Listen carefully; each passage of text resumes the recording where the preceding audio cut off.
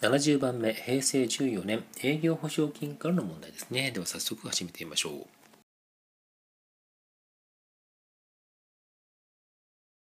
はい、本紙に関しましては、これは×というね、ことになります。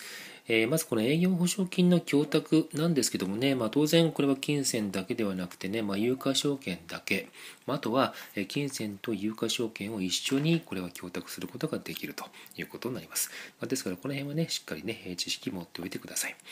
で例えば、ね、この債権者との間でですね、この供託金を還付することになってしまったような場合、